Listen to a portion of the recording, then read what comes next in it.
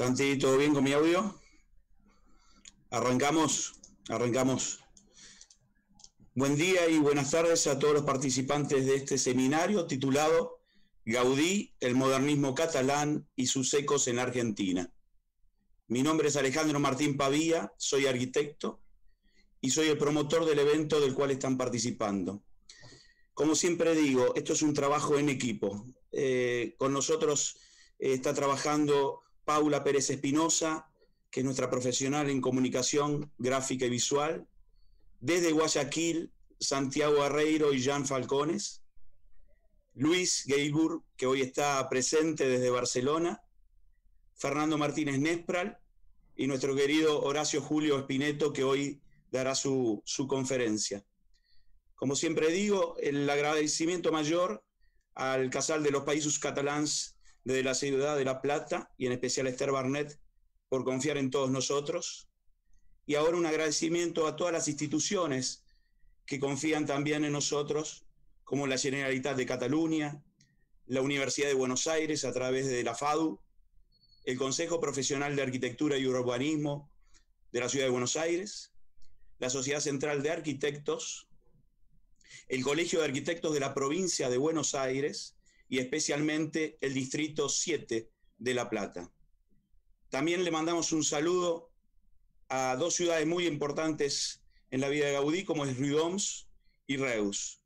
A ellos, a los ayuntamientos de cada una de esas ciudades, a la Fundación Gaudí de Riudoms y al Gaudí Centre de Reus. Hoy disfrutaremos del módulo número 6, que denominamos impronta modernista en Buenos Aires, Rosario, Tucumán y La Plata. Hemos tratado de eh, poner un módulo que de alguna manera hable de lo federal, de la arquitectura y de nuestro país.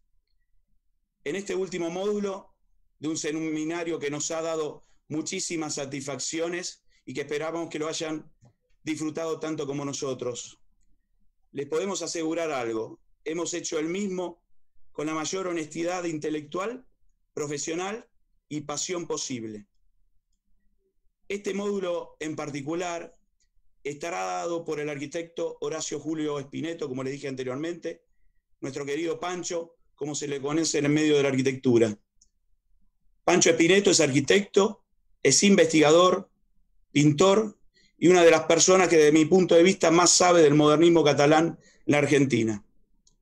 Ahora sí, bienvenido Pancho, y te cedo, como hice la semana pasada, las, anteriores, a Luis, te cedo este espacio de la pantalla para que comiences con tu exposición. Más grande la pantalla. Bueno, buenos días a todos. Es un gusto para mí y un honor participar de este, de este seminario. Y el módulo 6, el que me toca presentar, es precisamente, como decía Ale, una, va a ser un pantallazo general sobre la impronta modernista en cuatro ciudades muy importantes de la Argentina. Vamos a empezar por la ciudad de Buenos Aires, dale. Bueno, iniciamos aquí cuatro imágenes. Buenos Aires, que había sido fundada definitivamente por don Juan de Garay en 1580, de acuerdo a esas normas de las leyes de Indias, es decir, con esa cuadrícula pegada al río, bueno, obviamente fue creciendo y llegamos al siglo XIX. Esa gran aldea, ya hacia finales del siglo XIX, se va transformando en una metrópoli importante. Y la arquitectura suele ser un ejemplo perfecto para verificar estas situaciones. Acá yo preparé cuatro imágenes del Buenos Aires de fines del siglo XIX, principios del XX. La primera que vemos arriba, no, no cambies, por favor. La primera que vemos arriba a la izquierda pertenece a lo que fueron los Altos de Lorriaga, una casa que es una de las casas más antiguas que queda en pie en la ciudad de Buenos Aires, es del año 1810-1812 se los llamaba altos porque en esa época las casas de planta baja y un piso alto eran los altos. Actualmente ese forma parte del complejo del Museo de la Ciudad. Al lado vemos la que fue en su momento la calle de Buenos Aires, la calle Florida, donde transcurría la actividad comercial, si se quiere, de una categoría particular, y que llamaba la atención tanto a porteños como a visitantes que tenía. Santiago Rusiñol hace una descripción muy interesante de ella en su libro del Born al Plata cuando viene en el centenario en 1910. Tan importante fue esta calle que en el año 1914 la tienda londinense Harrods instaló sobre la calle Florida la primer sucursal en el mundo. Era la calle de Buenos Aires. Abajo, a la izquierda, tenemos esa magnífica construcción que fue el pabellón argentino de la Exposición Internacional de París de 1889, o sea, celebrando los 100 años de la toma de la Bastilla. La Argentina estuvo representada con este pabellón de hierro, vidrio y mayólicas, que fue obra de un arquitecto francés, Albert Ballou. Estaba en una ubicación preferencial, porque estaba al lado de la Torre Eiffel. Finalizada la exposición, este, existía el problema de qué hacer con el edificio. Bueno, finalmente, después de algunas idas y venidas, tanto Nación como Municipalidad de Buenos Aires se ponen de acuerdo y cada una paga la mitad del traslado del edificio a Buenos Aires, que obviamente se desarma como unas, las piezas de un mecano y se lo trae aquí a Buenos Aires. Próxima a, las, festividades del centenario, se lo ubica en la, en la bajada de, de lo que iba a ser la Plaza San Martín, sobre la calle Arenales y ahí se piensa que se van a desarrollar gran parte de las exposiciones de arte durante dicha muestra. Y finalmente se le da el carácter de este Museo Nacional de Bellas Artes. Lamentablemente en el año 1933, cuando con la ampliación de la plaza, el cierre de la calle Arenales, para permitir una bajada más continua, se desmantela este edificio y prácticamente desaparece, salvo estos cuatro mástiles que están en los extremos, que están dispersos, colocados en distintos sitios de la ciudad de Buenos Aires, sobre distintas avenidas o calles. Y algunas de las esculturas que había en su acceso están en la Escuela Municipal Raggio, ahí en el barrio de Núñez. Y por último, vemos esta imagen de la Avenida de Mayo, el primer intento urbanístico con, con, un proyecto real que se hace en la ciudad de Buenos Aires, que se transformó en el Gran Boulevard. Esa fue la idea del primer intendente de la ciudad de Buenos Aires, que fue don Torcuato de Alvear, que fue intendente entre 1883 y 1887, cumplió dos periodos, y él, como la sociedad de la época, pensaba que había que ir dejando de lado aquello españolizante en la arquitectura, que la arquitectura moderna y de cierto prestigio tenía que ser afrancesada, académica. Es así que basándose un poco en las ideas del barón Haussmann en París, eh, eh, del segundo imperio de Napoleón III, a la manera que abrían esos bulevares, decide abrir este, que significó la apertura por el medio de nueve manzanas para permitir el paso de la avenida. Se había creado un eje simbólico, dado que esta avenida de Mayo iba a unir en un extremo con la Plaza de Mayo y el edificio de la sede del Poder Ejecutivo, la Casa Rosada, con el otro extremo, donde se iba a construir el Palacio del Congreso. O sea, a través de una avenida se unificaba el Poder Ejecutivo con el Poder Legislativo. Y el proyecto no terminaba ahí, tenía dos diagonales más, la diagonal norte y la diagonal sur. La diagonal norte se construye y une Plaza de Mayo, Poder Ejecutivo, con Plaza Lavalle, edificio de tribunales, Poder Legislativo. La que fracasa es la tercera, que, es la diagonal sur, que nunca se termina porque en su intersección con la avenida norte-sur, que es la actual avenida 9 de Julio, iba, tenía previsto que ahí se instalara un nuevo edificio de la Intendencia Municipal de Buenos Aires, proyecto que no realizó. Pero ¿qué pasa con la Avenida de Mayo? La Avenida de Mayo es un catálogo arquitectónico finisecular y es ahí donde aparecen algunas obras de carácter Art y modernista. Bueno, y lo que tiene que ver con el Art y el modernismo, antes que la arquitectura propiamente dicha, ya estaba instalado en las artes gráficas, en las ilustraciones. Por ejemplo, acá vemos la propaganda de cigarrillos París, esta de vinos de mesa Cousteau Frère, y en estas orlas que vemos de propaganda de las grandes tiendas El Progreso. ¿eh? Era la época en que se inauguraban las tiendas en Buenos Aires de una manera importante, una tras de otra. Y a la derecha estamos viendo una, foto que para esa época tenía dos de los hoteles más importantes de Buenos Aires, el Majestic ¿eh? de, de Colivadino y Benedetti, y enfrente un edificio decididamente Art que es el Hotel Lutecia, del cual ya vamos a ver un poquito más adelante, vamos a ver en particular la que sigue.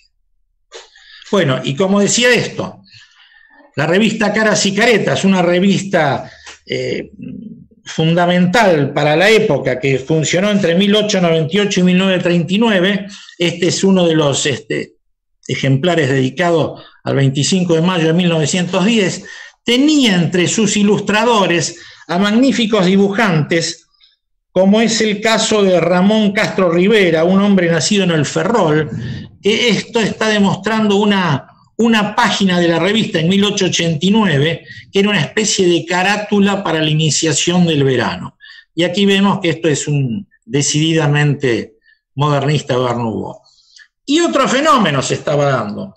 En todos los aguanes de cualquier tipo de casa, la famosa casa chorizo, la casa francesada, una casa españolizante, todos los aguanes empezaban a ser revestidos con estos azulejos, evidentemente piezas características del Art Nouveau. ¿A qué sigue? ¿Qué sigue? Bueno, pero ¿cuándo ingresa realmente el modernismo catalán a Buenos Aires. Se debe fundamentalmente a una figura fundamental que fue el arquitecto Julián García. Julián García nació en Buenos Aires en 1875, fallece luego en la misma ciudad en 1944.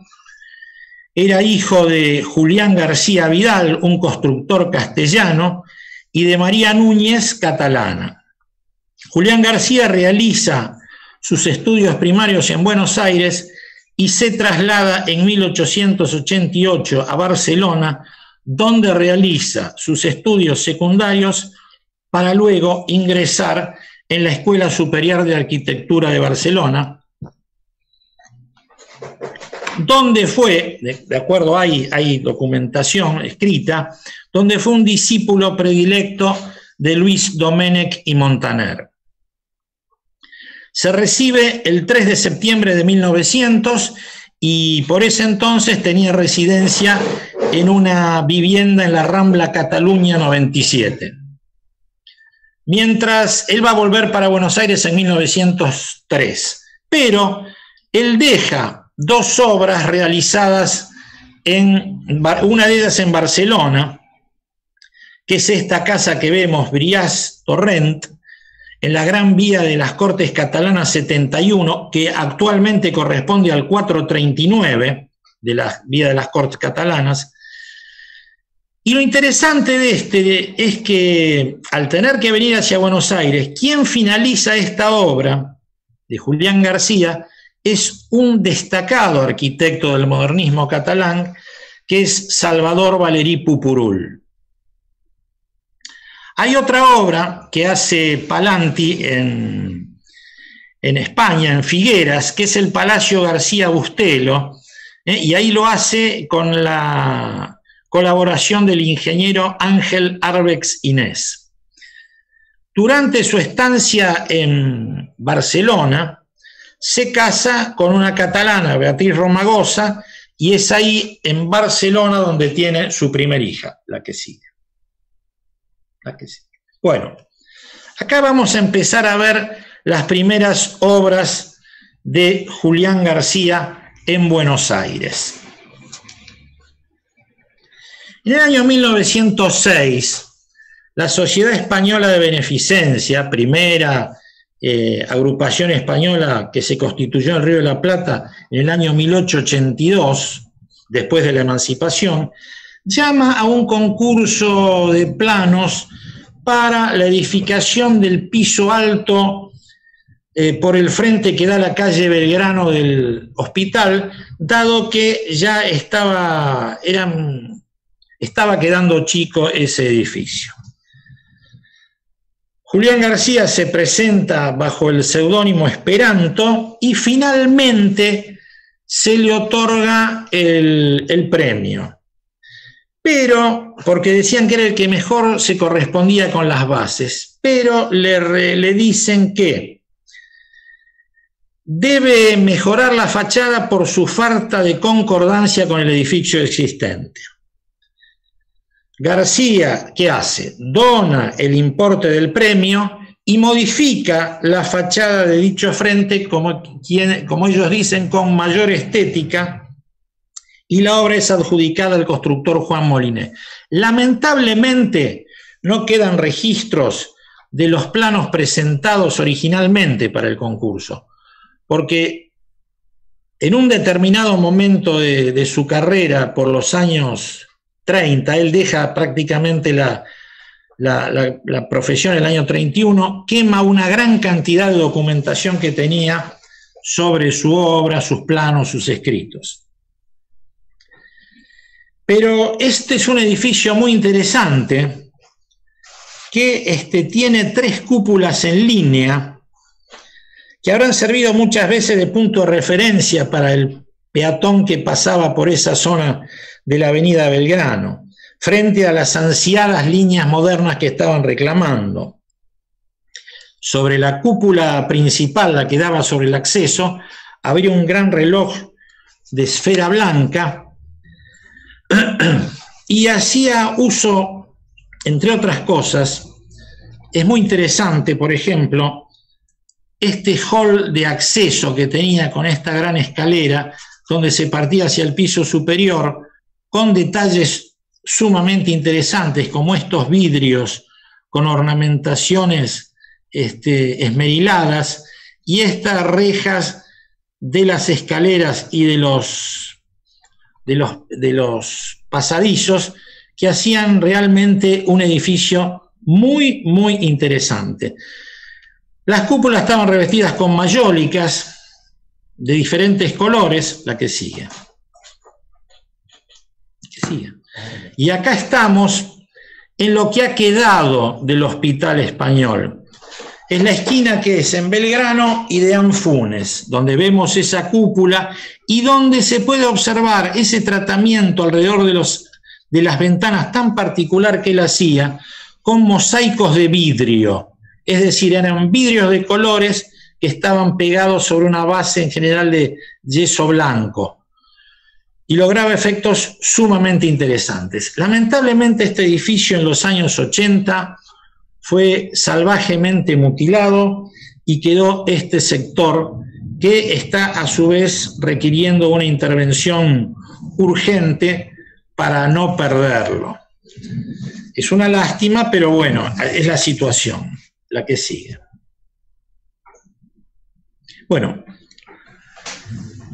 en 1907, a raíz del ya la, construido el Hospital Español de la calle Belgrano, se le encomienda la confección de los planos definitivos para el anexo del hospital español, lo que llamaban eh, para los valetudinarios, es decir, los que estaban con, que tenían que tener un, tratamiento prolongado y debían de permanecer largo tiempo internados, cosa que no podían hacerlo en el hospital de la Avenida Belgrano. Bueno, esto es en la provincia de Buenos Aires, en la localidad de Temperley, y este, el terreno donde se construye tiene una superficie aproximada de 7 manzanas, 7 hectáreas, que fueron donadas en 1904 por un comerciante muy poderoso, Elías Romero. Como pueden ver en este lateral, los dibujos y estas cúpulas se presentan esa doble instancia que tenía Julián García, que era un poco, por un lado, la utilización de situaciones del modernismo catalán y por otro lado de la, de la secesión vienesa. Estas cúpulas nos recuerdan algunos de los trabajos de Joseph María Olbrecht. Y acá vemos la planta, en la planta del, del, anexo Temperley, podemos ver que tiene un partido similar al Hospital San Pablo de Domenici Montaner, es decir, a través de una gran avenida, los pabellones alrededor con diagonales y terminando eh, como edificio central al fondo de este recorrido en la gran capilla. Esto continúa en actividad en esta localidad de la provincia de Buenos Aires. Las obras que fueron realizadas por Julián García para la este, Sociedad Española de Beneficencia fueron realizadas siempre con la empresa de Juan Moliné. Pasamos a la que sigue. Bueno, acá llegamos a una situación sumamente interesante que tiene que ver con la exposición de la, los pabellones de la, de la mm, exposición del centenario de 1910. ¿Qué es esta exposición del centenario de 1910 para los que nos escuchan y no son argentinos? Es el centenario de aquellos sucesos de la revolución llamada de Mayo, donde se depone al virrey español que había en Buenos Aires y asume la primera junta de gobierno. La primera junta de gobierno que fue presidida por Cornelio Saavedra y en la cual había dos personas de eh, oriundos de Cataluña. Era uno era don Domingo Mateu y el otro Juan Larrea. Bueno, Volvamos a los pabellones. La Cámara Oficial Española de Comercio, Industria y Navegación era conducida, dirigida en Buenos Aires por un galerista de arte que se llamaba José Artal. José Artal era un hombre muy conocido y realizó muchas exposiciones de artistas españoles en Buenos Aires. Y a través de su intercesión se llegó a conseguir España recibiera un terreno de 45 mil metros cuadrados para hacer su pabellón, es decir, el terreno más grande que recibió cualquiera de los otros países. Es decir,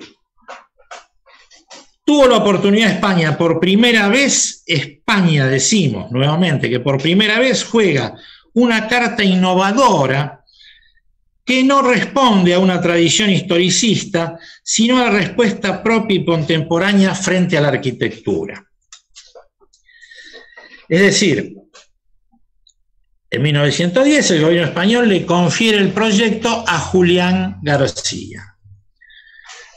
Esto estaba en Palermo, sobre la avenida Alvear, lo que hoy es Libertador, y podemos ver, estos dibujos corresponden a Julián García, y podemos ver que uno de estos pabellones era, uno era de industria y otro de artes y ciencias. Ambos se unían a un tercero, que es este que está aquí atrás, a través de una galería, creando así un gran espacio central destinado a recepciones, el pabellón central, ¿no? Por supuesto.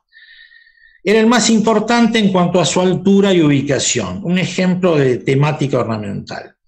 El acceso a esta exposición se daba, como estamos viendo en la foto de la derecha, el acceso estaba enmarcado por cuatro enormes pilones vinculados entre sí por arcos superpuestos de hierro, de los que colgaba un armazón también de hierro, forjado con motivos vegetales, cuya parte central era un círculo de mosaicos, posiblemente de vidrios de colores, asentados sobre esa mezcla de cemento blanco que tanto le gustaba a Julián García.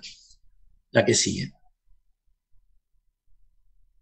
Bueno, aquí vemos cuatro imágenes, cuatro postales que fueron editadas precisamente para esa exposición donde vemos varias de las características. Aquí está ese pabellón central, aquí vemos este gran, este gran espacio como plaza central y otras de las este, edificaciones que Julián García hizo como realmente muy novedosas. Es por esta época cuando el nombre ya de nuestro arquitecto Julián García empieza en el país a ser mencionado como un arquitecto de vanguardia. Veinte años después, en 1930, en España lo van a reconocer a Julián García precisamente por esta obra, y el entonces rey de Alfonso XIII le concede la Cruz de Isabel la Católica que fuera impuesta en un viaje que Julián García realiza a, a España la que sigue. Bueno, acá dejamos dos, dos, más que tienen que ver con, no son de Julián García, pero dejamos dos visiones más. El de la izquierda es el pabellón postal de los arquitectos Binen, Mopaz y Jauregui, que desarrollaron varias obras en la ciudad de Buenos Aires, muchas de ellas con influencia modernista. Y lo interesante de esto, este que es el único pabellón de la exposición del centenario que quedó, que permanece y está dentro del predio actualmente de lo que es el Regimiento 1 de Infantería ahí en Santa Fe y Bullrich. Está un poquito planchado, digamos, pero sigue estando. Ya que estamos y vemos esta otra edificación al costado, decimos que esta pertenece a uno de los pabellones de Italia y fue obra de uno de los arquitectos importantes que con el tiempo fueron mucho más importantes, que habían llegado para la exposición del centenario, en este caso es una obra de Mario Palanti. Bueno, y aquí al lado vemos lamentablemente un proyecto inconcluso y por el cual Buenos Aires perdió la oportunidad de tener una obra de uno de los tres más importantes arquitectos del modernismo catalán. Esta era una iglesia votiva al, corazón de María que había diseñado Pucci Cadafalc para ser ubicada en la Plaza Constitución. Lamentablemente por diversos factores no pudo ser y hoy en su lugar hay una, hoy una iglesia neogótica este, en el lugar donde tendría que haber estado esta. Bueno, pasamos a otra de los edificios, a otra de las obras fundamentales de, de Julián García. Me estoy refiriendo a la vivienda de Chacabuco 78. Es un edificio de oficinas, un tema todavía nuevo en ese entonces. Este, esta obra es de 1909, 1910 que le hace a García Núñez le permite reflexionar sobre la necesidad de adecuar las formas de la arquitectura a las exigencias de la vida comercial del momento. Además de pensar en materiales como el vidrio y el hierro, que permitirían nuevas, que eh, sin ninguna duda permitirían nuevas posibilidades, como medios, yo diría, indispensables específicamente en esta obra para su nueva interpretación arquitectónica. Pasa a la siguiente. Bueno, acá vemos algunos detalles del zócalo del zaguán y del cielo raso del zaguán. Aquí aparece esta rosa estilizada que va a estar, va a ser constante dentro de las obras de Julián García de todo su periodo modernista. Y aquí estamos viendo a la derecha una planta del segundo piso del edificio. Este edificio, constituyó un gran espacio central, que acá lo vemos, iluminado a través de una cubierta transparente de vidrios sobre una estructura de hierro que solo está cruzada por los puentes requeridos para la comunicación con el ascensor. Los pasadizos están constituidos con losetas de vidrios sobre viga de hierro, demostrando una, una gran franqueza estructural. Acá vemos varias imágenes de lo que estábamos diciendo. Aquí esta escalerita parte de la planta baja donde sale el ascensor y acá estamos viendo esos entrepisos de losetas de vidrio suspendidos, apoyados sobre las vigas de hierro. Y esta herrería también que cierra todos esos balconeos. La próxima. Acá volvemos a tener otra, otra imagen. Es un edificio sumamente interesante que sigue estando en funcionamiento. Yo a mis alumnos de la Facultad de Arquitectura los llevaba siempre como una excursión que me parecía magnífica, los hacía subir en grupitos por el ascensor hasta arriba, les hacía ir viendo esa especie de lucernario y los hacía bajar que fueran bajando por la escalera. Y realmente todos quedaban maravillados de, de, esto, de esta joyita en pleno centro de la ciudad de Buenos Aires. En la foto de la, de la derecha vemos a un magnífico fotógrafo, Gustavo Sosa Pinilla, además es el fotógrafo de la revista Arquitectura Barzón de Suma Más y de Diseño Barzón, en situación de realizar un ensayo fotográfico sobre este edificio de Julián García, que es uno de los más visitados por los estudiosos de la arquitectura en Buenos Aires. Acá vemos tres obras más de Julián García. Y esto es muy interesante porque aparece un cine. En la fachada del cinematógrafo levantado en la calle Belgrano 3272 en el año 1910. Y encontramos tres zonas muy bien delimitadas.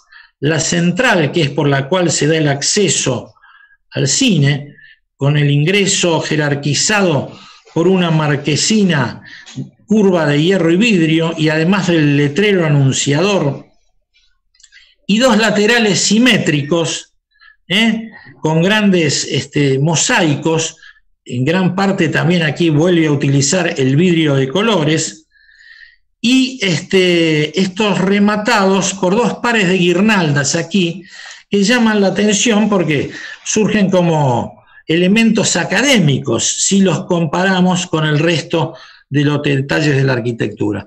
Lamentablemente, este cine desapareció. En la planta baja tenía también un café, el café La Armonía. Pasamos a otro edificio de 1910, que es el que tenemos sobre la derecha. Es un edificio eh, que todavía existe en Independencia y Sarandí, pero que lamentablemente este, esas dos elegantes torres fueron demolidas que remataban tan brillantemente la, la ochava. En ella la habitación correspondiente al primer piso se adelantaba en voladizo, sirviendo su parte superior al balcón del segundo piso, correspondiente a, esa unidad. Entonces la ochava estaba remarcada por un cuerpo volado. Este es un edificio muy interesante donde en algún momento vivió alguna de las hijas de Julián García. Y el del centro es un edificio que está en Paso y Viamonte, este afortunadamente se conserva satisfactoriamente. La decoración cobra importancia con el mosaico de vidrio como material ornamental y vuelve a esas cúpulas un poco secesionistas que lo, nos recuerdan, vuelvo a decir, a Olbrecht. Y este, es, una, es de las edificios que tiene la ciudad, similar a otro que hay en el barrio de Caballito, en, en Lesica y Otamendi. La que sigue.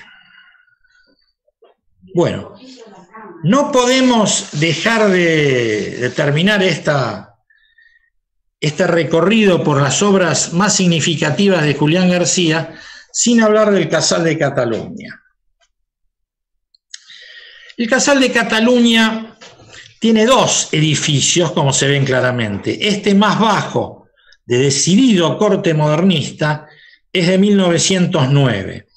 Y este otro, el que vemos al lado, ese fue, es una refacción general que se hizo en el año 1936 al anterior de 1888. En ese de 1936 trabajaron el arquitecto Eugenio Camlonch y Julián García. Eugenio Camlonch fue un arquitecto que tuvo destacada actuación en Vilafranca del Penedés. Muchas obras hay de él en Vilafranca. Inclusive hay una casa que es la Casa Vidal Folquet en Vilafranca que tiene una fachada bastante parecida a esta. Acá estamos viendo el acceso al Casal de Cataluña, este corresponde al edificio modificado en 1936. Pasar a que sigue. Acá volvemos a ver, volvemos a ver los remates del edificio de 1909 a ambos lados y vemos los dos. El de 1909 aloja una maravillosa biblioteca que es la biblioteca Pompeu Fabra, que vale la pena visitarla por la maravilla que guarda en su lugar. Y el nuevo edificio, el del 36, aloja, además de unos eh, departamentos para renta en los dos pisos superiores, eh, las oficinas, la sala de exposiciones Gaudí, el gran restaurante que tiene el Casal y el Teatro Margarita Girgu. Respecto a la autoría de cada uno de ellos, en el catalán decididamente, el modernista catalán, figura Pauli y Col. Pauli y Col fueron los constructores. Uno era Jaime Col, que tenían sus oficinas precisamente, su estudio ahí en Chacabuco al 822, frente prácticamente a esta obra. Y en la otra, en la del 36, es donde figura Eugenio Camlonch y Julia J. García Núñez. Ahí firma García Núñez, como lo hace en todas sus obras posteriores a los años 30, es decir, cuando había terminado definitivamente con su vertiente modernista catalana. La, versión este, que yo tengo y comparto con otros estudiosos, como la arquitecta Florencia Barcina, es que el de 1909 es construido por Julián García. Y el segundo interviene obviamente Eugenio Camplonch y supuestamente también Julián García. Y como ellos dos eran amigos, deciden directamente poner eh, Eugenio Camplonch y Julián García como autores, sin identificar al otro de Julián García. Así que bueno, este es nuestro hermoso edificio del Casal de Cataluña. Aquí sigue. Bueno, no solo, bueno, Julián García obviamente fue el más importante, pero vamos a hacer un repaso por otros arquitectos que han realizado obra modernista en Buenos Aires. Y ahora nos vamos a dedicar al arquitecto Guillermo Álvarez, un arquitecto que nació en Cortegada de Baños en 1880, eso es provincia de Orense, y murió en Buenos Aires en 1929. Aquí vemos tres de sus obras. La de la izquierda, de 1910, es la fábrica de cigarrillos centenario en la calle Perú al 700. Demolida, desaparecida. Sí podemos ver las otras dos obras. Vemos cómo la ornamentación, un poquito más pesada en su remate, es muy parecida en la de la fábrica de cigarrillos como en esta, esta vivienda de la calle Belgrano 1936, que es una vivienda y puede ser este, perfectamente verificada su presencia sobre la avenida Belgrano. El edificio más característico de Guillermo Álvarez es esa casa de renta con esa torre tan particular, que es un hito ya para el barrio de La Boca y para su arquitectura. Esto sale como una proa en las calles Wenceslao Villafañe y la avenida Benito Pérez Galdós, chocando sobre la avenida Almirante Brown. Eh, a Guillermo Álvarez se lo encargó eh, una estanciera, María Luisa Obernó, que quería un edificio de determinadas características, que quería que tuviera influencia modernista y que tuviera una torre donde sería una especie de mirador de esa entrada, podemos decir, definitiva al barrio de la Boca. Esto se lo conoce como la Casa del Fantasma o la Torre del Fantasma, debido a esas anécdotas populares que, que, tienen varios barrios de Buenos Aires, indica que en un momento una inquilina que era pintora habitaba esa, esa torre, bueno, aparentemente habría, se habría tirado desde esa, de una de esas ventanas al vacío entonces queda la historia de que de tanto en tanto aparece el fantasma de esa pintora. Esas leyendas que hacen y enriquecen las tradiciones porteñas. La que sigue. Acá tenemos otro arquitecto que hizo obra mm, modernista y, también del Art Nouveau, con una suerte diversa en cuanto a su perdurabilidad. Eh, Alfredo Massué había nacido en París en 1860 y murió en Barcelona en 1923. Él había trabajado en Uruguay, en Brasil y finalmente viene acá a la Argentina donde pone su estudio de arquitectura y realiza varias obras.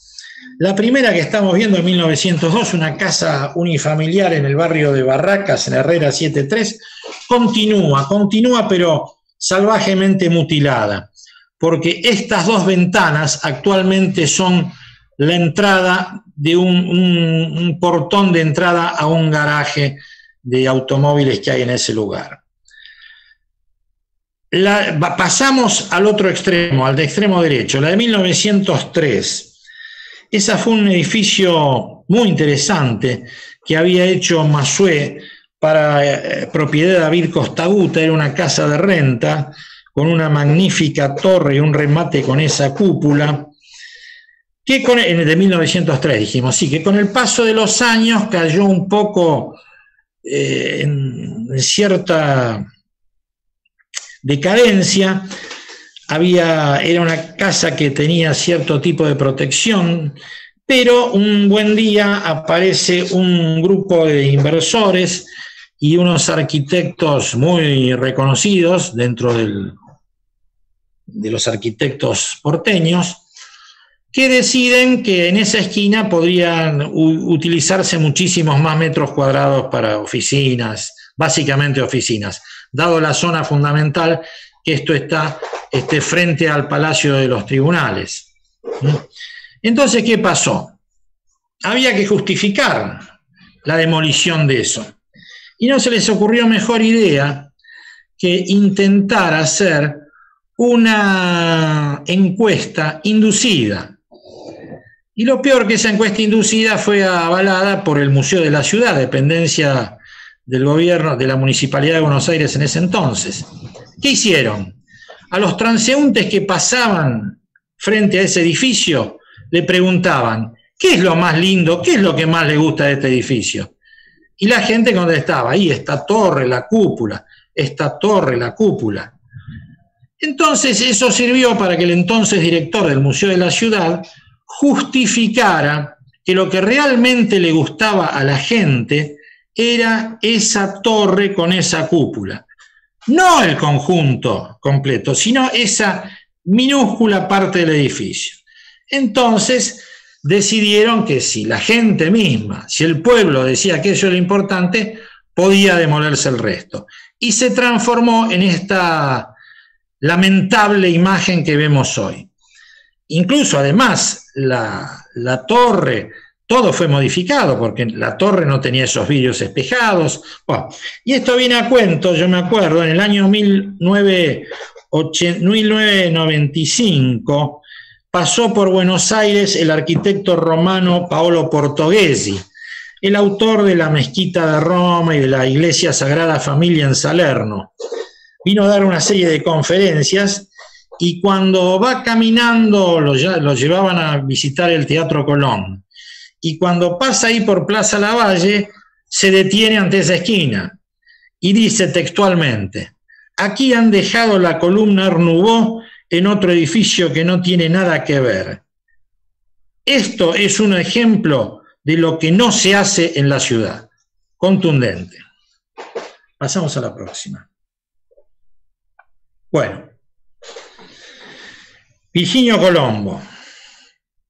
Virginio Colombo es un arquitecto que ha desarrollado una importante obra en la ciudad de Buenos Aires, un hombre con una gran formación, es nacido en Milán en 1885, falleció en Buenos Aires en 1928, Estudió en la Academia de Brera, fue discípulo de Camilo Boito y de Giuseppe Somaruga y condiscípulo de Antonio Santaelía. Un personaje notable. Él había llegado en 1906 aquí a la, Argentina y se dio cuenta que era un terreno virgen para su actividad arquitectónica y desarrolla varias obras muy importantes. En realidad le había llegado en 1906 aquí a Buenos Aires contratado para realizar las decoraciones del Palacio de Justicia, tribunales. El bodeguero, la bodega Calice, mendocina, decide construir un edificio para renta en, aquí en la calle este, Victoria, hoy Hipólito Yrigoyen, y este, contratan a Virginio Colombo. Virginio Colombo hace este edificio donde colabora con él el escultor Héctor Epacín, Hércole Pacina, un escultor que había nacido en 1883 en Monza, un destacado y fino eh, escultor que aquí en Buenos Aires también había trabajado con otros arquitectos maravillosos, como Francesco Gianotti, el autor de la confitería del Molino y del pasaje Güemes, entre otras cosas, con Atilio Locati. Bueno, la cuestión que hacen este edificio. La próxima. Este edificio que afortunadamente hace dos años fue puesto en valor de una manera magnífica con unas obras que llevó adelante la arquitecta especialista en patrimonio Elina Tazara. Acá vemos ya entrando en el edificio Calice, otra escultura de, Pesina, de Pacina, donde se ven esas sensualidades, esas figuras femeninas que acompañan los vitró de entrada. Dos obras más vemos de Colombo. Esta de 1909, la Casa Gigena Ciber, sigue, continúa, está, está en pie, ligeramente modificada con algunas un poco menos de la ornamentación característica y actualmente pertenece al Colegio La Salle. Y este, Virginio Colombo realizó algunos edificios muy imponentes sobre la avenida Rivadavia. Uno de ellos está en el 3216, que es la famosa Casa de los Pavos Reales, que presenta unos grandes pavos reales sobre los balcones y presenta toda una fachada de granito rojo martelinada que es realmente imponente. Y la imagen que estamos viendo aquí a la derecha es del edificio Grimoldi, que está en la calle, eh, esto está sobre Corrientes, y presenta estas vidrieras que dan a los grandes patios interiores. Colombo es otro de los arquitectos que este, deja su impronta en Buenos Aires. ¿Y qué es lo novedoso de Colombo? Lo novedoso de Colombo está en sus fachadas y en los espacios colectivos, en los trabajos escultóricos que incluye bastante revolucionarios para la época, con elementos naturalistas, flora, fauna y figuras humanas, y no se veían tanto todavía en Buenos Aires.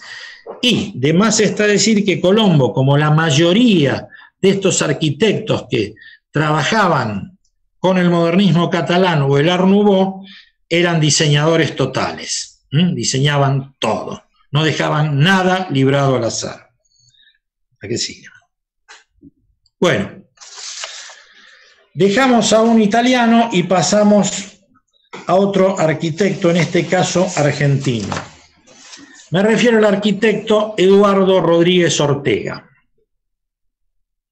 Eduardo Rodríguez Ortega, nacido en 1871 y muerto en 1938. Es este, el autor de esta casa tan particular, la llamada Casa de los Lirios, de Rivadavia 2031. Es un hito del Art Nouveau en Buenos Aires y que yo muchas veces sostengo que a veces son los, los poetas, los escritores, los que suelen interpretar mejor estas cosas. Hay un libro muy bonito que se llama Techos de Buenos Aires, de Luis Alberto Ballester, que dice lo siguiente. El Art Nouveau sintió también predilección por lo alto. Una de sus particularidades fue la utilización inteligente de la curva, con su carga sensual y secreta, o el cincelado del hierro, o la construcción de una mitología de dioses, gigantes y monstruos que todavía contemplan a Buenos Aires con sus ojos impenetrables. Trabajó asimismo en el cemento, en la creación de esos mitos, todavía aéreos y duras barbas que vencen la pesadez de ese material, enmarcan el techo de una casa porteña situada en el 2000. Y acá vemos en la foto de la derecha esas barbas de cemento a la que está haciendo referencia del edificio de Rivadavia 2000.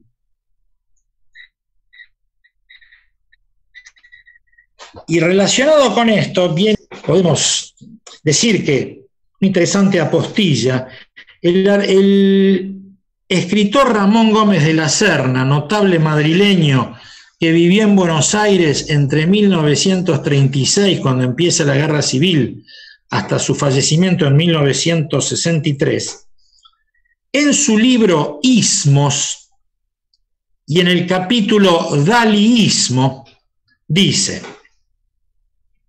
Dalí comprende la belleza terrorífica y comestible de la arquitectura modern style.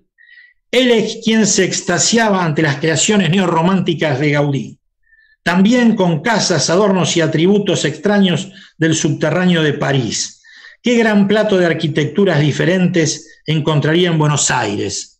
Se encontraría loco al encontrar las cariátides de ensueño, la fachada de encraje inglés en piedra y las cabelleras de cemento. Acá vuelve al edificio de Eduardo Rodríguez Ortega. Ramón Gómez de la Serna pasaba todos los días por ese edificio porque él vivía una cuadra sobre la calle Victoria. Y esto es interesante, ese comentario que él hace, porque en tiempos en que Gaudí no era tan bien visto, Salvador Dalí fue uno de sus férreos defensores. Pasemos a la que sigue. Bueno, y aquí vemos sobre la misma cuadra, derribada del 2000, dos obras de Eduardo Rodríguez Ortega. La primera es la que ya hemos visto, la Casa de los Lirios, que remata con esa figura que para muchos es el dios Eolo, el dios de los vientos, aquel a quien Zeus, Zeus perdón, le había dado la posibilidad de aplacar o provocar los vientos. Ahí lo tenemos firme. Y en la esquina, en Rivadavia 2009, una obra posterior de Eduardo Rodríguez Ortega, fue retomada eh, muchos años después, por el arquitecto eh, eh, Lorenzi, Fernando Lorenzi, entre 1999 y 2001, decide catalanizar más esta obra. Pone la leyenda en catalán, no hay sueños imposibles, instala eh, escudos de, Cataluña por distintos lados, va a cerrar esta cúpula con esta cantidad de vidrios espejados, estos óculos estaban abiertos, y remata este cupulín, cupulín con un trencadí. Acá en esta cúpula tuvieron en distintos momentos a veces compartida, su taller pictórico tres artistas notables porteños que fueron Francisco Travieso, Pipo Ferrari y Roberto Páez, como detalle anecdótico. Y sigue este, Lorenzi en su intención de gaudinizar más esta obra. ¿Y qué hace? En la pared medianera, aquí al costado, en lo alto, reproduce la puerta del dragón de la finca Huel de Gaudí. O sea que es un sector entre Art y modernista que tenemos en pocos metros en esa cuadra de Rivadavia del 2000. La que sigue. Pasamos a otro de los arquitectos que ha realizado obra con intención modernista. En este caso es de un italiano, Icilio Chiocci, nacido en Florencia en 1875, que él llega a Buenos Aires en 1882 y es aquí donde se recibe de, de ingeniero en el 1900 y realiza varias obras, varias de ellas con intención modernista, como este hotel que vemos, el Hotel Garay ahí a, metros de, la Plaza 11. Aquí trabajó junto al ingeniero Berardone. Chiochi tiene otra obra muy interesante, un edificio también para renta, que está en la calle Chacabuco eh, e Independencia. Pasamos a la que sigue. Dale. Bueno, volvemos para el lado de la Avenida de Mayo. Este es un palacio, el Palacio Vera, 1910, Avenida Mayo 772, es obra de los arquitectos, eh, del ingeniero Arturo Prince y el arquitecto Oscar Ransenhofer. Ambos profesionales nacieron en 1877, Arturo Prince en Montevideo y Ransenhofer en Viena. Realizan este, este hermoso edificio, fíjense qué carpintería metálica interesante, presenta. Esta es la, puerta de entrada pasada ya la, exterior de, hierro. Es un edificio que eh, es interesante porque viene al caso recordar que durante los festejos del centenario, quien fue la máxima representante este, española fue la infanta Isabel, la tía de Alfonso XIII y inauguró este edificio ella personalmente. En el comodato de color, podemos decir que en este edificio nació una de las actrices más destacadas, importantes que ha dado la Argentina, que es Norma Leandro, que si muchos recordarán que fue, estuvo en el elenco de la película que ganó el Oscar, este, dirigida por Puenzo, que era relacionada con, la, con la, el gobierno, la época militar aquí en la Argentina. Arturo Prince, hay otra obra que hizo sumamente interesante con aire gótico en Buenos Aires, que también es otro hito arquitectónico lleno de leyendas, que es el edificio de la Avenida Las Heras de la vieja Facultad de Derecho, hoy de Ingeniería, inacabado, que ahí sigue estando. Pasemos la que bueno, acá tenemos dos obras que quería volver. Una es una que habíamos visto al inicio, que es la de 1907, el Hotel Lutecia, la antigua denominación, la denominación romana de París. Actualmente se llama Chile. Está en la Avenida de Mayo y Santiago del Estero y es obra de un arquitecto francés de Toulouse, Louis, Louis Dubois, que acá en Buenos Aires realizó otras obras muy interesantes como la farmacia suiza, que tiene un tratamiento muy interesante de mayólicas de colores luminosos, que está en Suipacha y Tucumán. Eh, este es uno de los edificios considerados más característicos del Art Nouveau dentro de Buenos Aires y este, tiene como interés aparte que aquí se desarrolla una obra, una novela que fue escrita por el escritor Abelardo Arias, Premio Nacional de Literatura, que se llama La vara de fuego. Es toda la vida de ese hotel, lo que pasaba en ese hotel, y pinta una imagen perfecta y muy minuciosa de lo que fue la Buenos Aires de los años 30. Afortunadamente eh, se ha reconstruido la cúpula, esta cúpula cebollada que había sufrido en el año 88 un incendio y que pensó que iba a quedar finalmente sin la cúpula, pero se la, se la ha vuelto a hacer de una manera exacta a la que había anteriormente. Aquí estamos mostrando un, detalle simplemente de un arquitecto que merecería, un capítulo especial y aparte, más allá de, del modernismo, del Art que es el arquitecto Mario Palanti. Aquí estamos mostrando un detalle simplemente de una escultura, una elegante y sensual escultura alrededor de un, de un óculo, una ventana de este edificio de Rivadavia, casi combate de los pozos de 1916, que es el primer edificio que hace Palanti en Buenos Aires. Palanti es un arquitecto que es absolutamente conocido por varias obras, pero fundamentalmente por una que realiza entre el año 1919 y 1921, que es su famoso pasaje o Palacio Barolo. Y además, como dato de interés, Palanti en el año 1916 realiza la primera exposición de arquitectura que se hace en Buenos Aires. Es sobre su obra y la realiza en el Museo Nacional de Bellas Artes, que estaba en Plaza San Martín, es el edificio que hemos visto antes, que fue el pabellón de Argentina en la exposición de 1889. A que siga. Bueno, este es un edificio que a simple vista, si uno pasa por la calle Moreno al 1300, no dice nada porque está totalmente planchado. Incluso no tenemos datos fidedignos de quién ha sido el autor.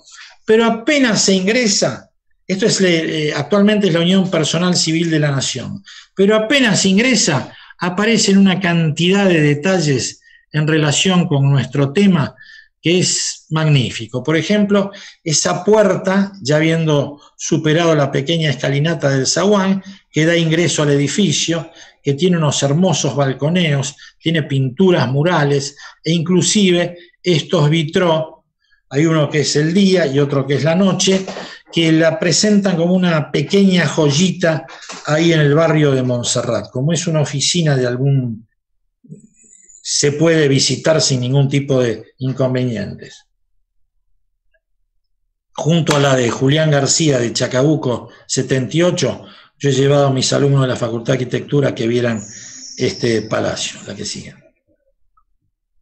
Bueno, y acá tres obras, podríamos decir, casi anónimas de las tantas que hay en la ciudad de Buenos Aires relacionadas con el modernismo. La primera, en Argerich 68, en el barrio de Flores, de 1914, es el centro quinahuense en la Argentina, es obra de un arquitecto Pellegrí Ferrer. Aparentemente es un arquitecto que nació en Palma de Mallorca, pero del cual es imposible conseguir alguna documentación más cierta donde él desarrolla este, un modernismo muy sencillo, que vamos a ver después tiene cierto correlato con el que va a haber en, en algunos edificios de Tucumán de Joseph Basols. La del medio es una casa para renta, la calle Potosí 4176, barrio de Almagro, esto es frente al hospital italiano, donde también vemos una cantidad de elementos que indiscutiblemente estaban marcando esa tendencia de los años alrededor de 1910 hacia intenciones, por lo menos ornamentales y estilísticas en cuanto al uso de materiales que lo relacionaban con el modernismo. Y acá, a la derecha, una de esas hermosas cabecitas antiacadémicas que aparecen por tantos lados y en este caso remata el acceso a una vivienda muy modesta que a su vez presenta esa pequeña ventanita arriba con, ese, con esa orla de hierro que dan ese carácter tan delicado y tan modernista. Que siga. Bueno, el cementerio también es este, un magnífico proveedor de obras eh, Art y modernistas. Y acá elegimos una obra de cada uno de los, mejor dicho, los dos cementerios más característicos de Buenos Aires. La de la izquierda es del cementerio más populoso, el más grande, el cementerio de la Chacarita, y donde vemos una construcción de, esta bóveda de un constructor Ferrando que tiene una importante cantidad y varias de estas reproducidas en el cementerio. En este caso, esta pertenece a la familia Sendón Minelono, donde ven los elementos vegetales, las curvas metálicas y estas situaciones tan particulares.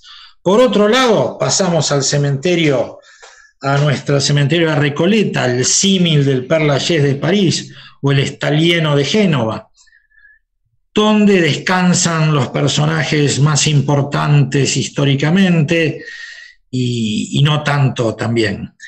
En este caso estamos viendo una joyita que es la bóveda de Rufina Cambaceres, construida en el año 1908, con, en mármol de Carrara, con detalles muy elegantes, estas flores que vemos arriba, la figura de Rufina, que fue una joven que murió prematuramente, en realidad no había muerto, tuvo un ataque de catalepsia y fue llevada en su cajón y, se instaló en el cementerio estando viva todavía, bueno, toda una tragedia alrededor de esto.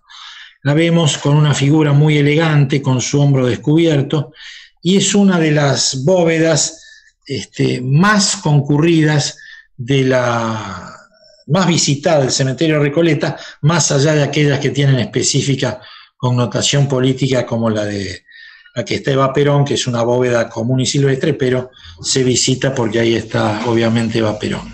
La que sigue. Bueno, y no podíamos este, terminar este recorrido eh, porteño sin ocuparnos del este, hospital español. Aquí vemos su construcción eh, muy poco después de haber sido inaugurado. Es obra del arquitecto holandés Eugenio Enrique Volkers, nació en 1911 y él gana un concurso eh, realizado en 1907. Y colabora con él el, el ingeniero Ernesto Gramondo. El conjunto, podemos ver, no se aleja de los modos de, composición académica en sus lineamientos generales, pero se diferencia profundamente en los detalles, ejecutados a partir de una decoración este, naturalista, anti, anticlásica, y con el uso de las policromías. Acá estamos viendo también otro de estos rostros decididamente antiacadémicos, que forma parte de los laterales de estos arcos que vemos aquí en el balcón del primer piso. La fotografía de la derecha es una imagen del estado actual. Es muy interesante la visita a este edificio porque Folkers quiso hacer como una especie de recorrido por distintas zonas de España en cuanto a los interiores que posee.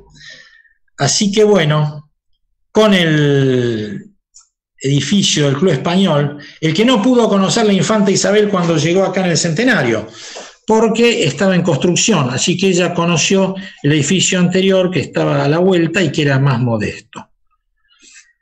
De esta manera este, terminamos lo que corresponde a Buenos Aires, diciendo, sí, podríamos decir, antes de irnos, que durante los festejos del centenario, por aquí pasaron figuras notables, estuvo José Ortega y Gasset, estuvo Jacinto Benavente, y quería hacer especial hincapié en dos personas que estuvieron, que fueron el pintor y dramaturgo Santiago Rusiñol y el, escritor José Blasco Ibáñez, el autor de La Barraca. Ambos escribieron libros en relación con la Argentina y Buenos Aires. José Blasco Ibáñez es un libro grande, importante, que se llamaba La Argentina y sus grandezas. Solía ser un libro de alabanzas hacia la Argentina. Incluso él llegó a ser creador de algunos pueblos, algunas villas en la, en la provincia de Corrientes.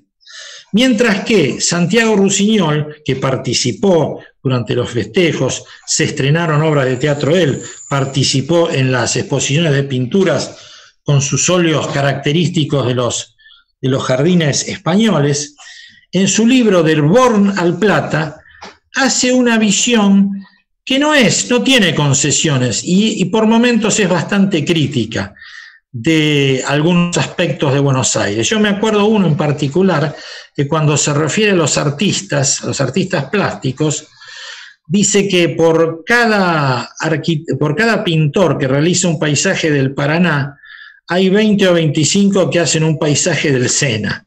Así que es interesante esa observación que hace Santiago Rusiñol. De esta manera este, damos finalizado nuestro recorrido, que podría ser mucho más extenso, pero lo acotamos a esto que hemos visto hoy de la ciudad de Buenos Aires. Pasamos a la próxima. Rosario. Rosario es la ciudad más importante de la provincia de Santa Fe y es la tercera ciudad eh, más importante de, la Argentina. Está después de Buenos Aires y de Córdoba.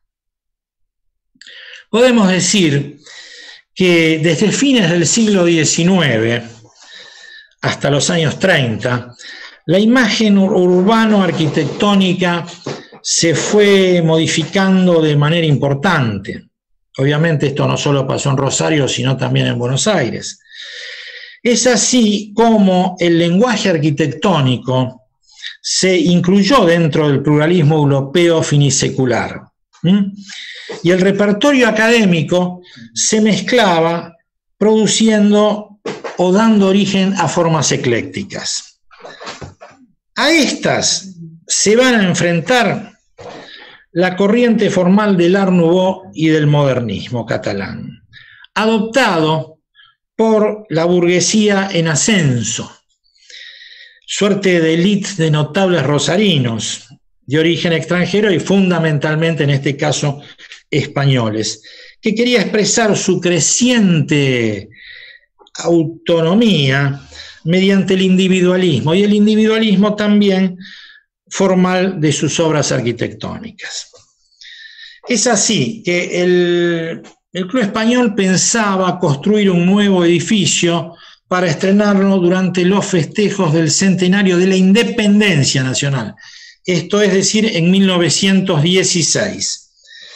Bueno, y para ello tenían un terreno en la calle Rioja y se contrata en 1912 a un arquitecto importante, que era el arquitecto Francisco Roca y Simó, que había nacido en Palma de Mallorca en 1874 y se había graduado en la Escuela de Arquitectura de Madrid.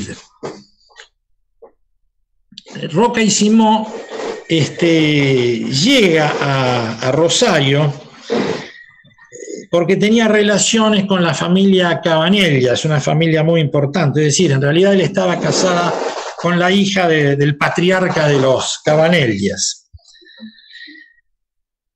Francisco Roca y Simó, en un lapso de cinco años, construyó un conjunto de edificios singulares, sin ninguna duda, y especiales que dieron un aspecto muy particular a la arquitectura rosarina de esa época. vamos a hablar en primer lugar del Club Español, que aquí lo vemos. El Club Español, obra de, 1900, iniciada en 1912, inaugurada precisamente el 9 de julio de 1916, en el exterior sobresale un imponente juego de volúmenes en la fachada y es notable, lamentablemente cuesta verlo porque está instalado en una calle que es muy angosta pero de todas maneras se ve la magnificencia de este edificio rematado por un escudo escolor, un escudo multicolor español. La que sigue. El espacio sorprende realmente el espacio que se desarrolla que desarrolla la escalera, esa escalera de gran acceso, iluminada por un magnífico lucernario, que acá lo estamos viendo, que tiene una superficie de 317 metros cuadrados y está a una altura de 25 metros. La escalera es magnífica, está, se inicia con estas dos imágenes femeninas que sostienen unas farolas. El lucernario es obra de un artesano local, Pedro Introini, y los vitrales, tanto del lucernario como de otros, de otros sectores del edificio, corresponden a la firma Buxadera y Fornells.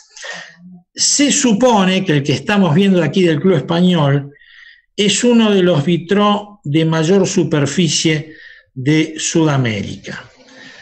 Es un gran trabajo artesanal este, de vidrio, hierro, y es una ornamentación magnífica que no deja de sorprender a quien ingresa a este edificio. Sigue.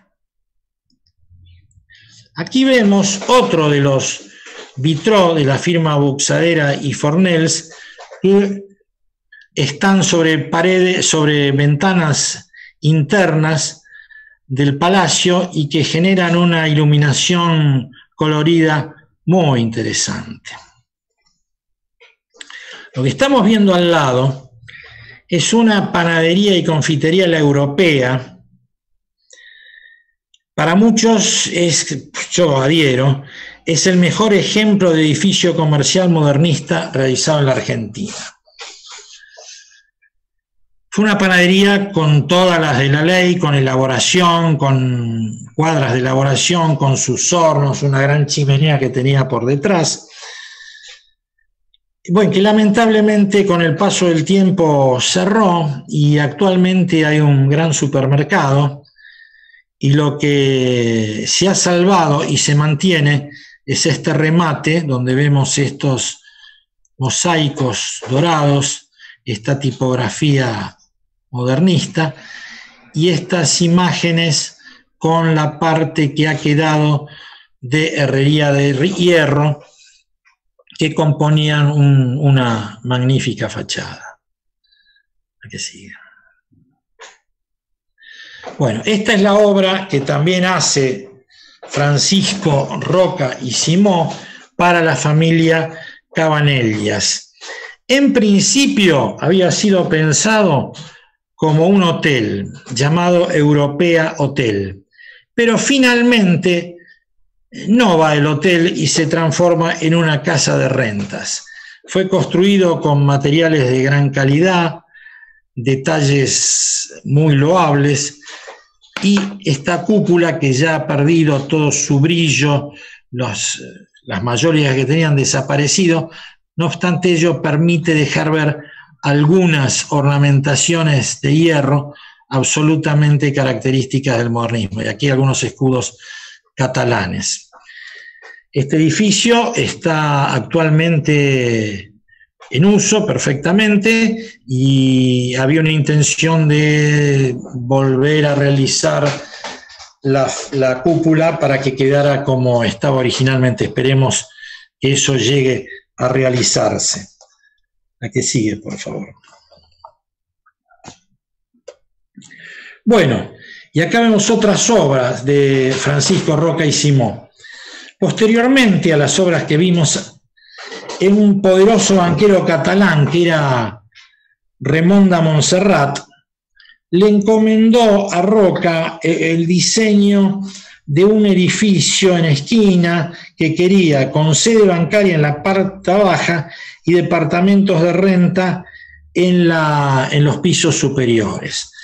Tiene un aire relativamente medievalista, se lo conoce también como la casa de los dragones, por estos dragones que aparecen aquí en este mosaico realizado con en algunos sectores hay mayólicas y en otros vidrios de colores.